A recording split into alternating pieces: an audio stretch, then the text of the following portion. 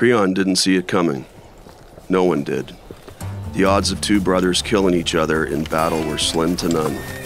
But that's what happened.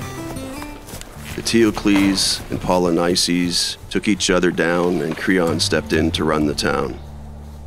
He wasn't the fella you'd imagine for the job, but with smoke still rising and folks still spooked, Creon forged a decree, and that's where it starts, with his niece, Antigone, sister of the dead.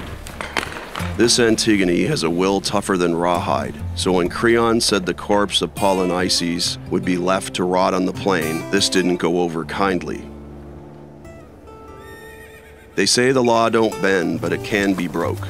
And sure as the morning sun, Antigone was set to bury her brothers, both of them.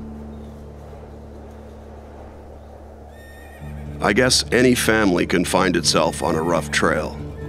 This one, though, well, truth be told, this family has more misfortune than the sky has stars.